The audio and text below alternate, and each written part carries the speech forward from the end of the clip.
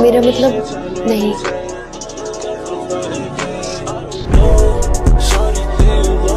मैं ला दूँ तो आपके लिए चाय।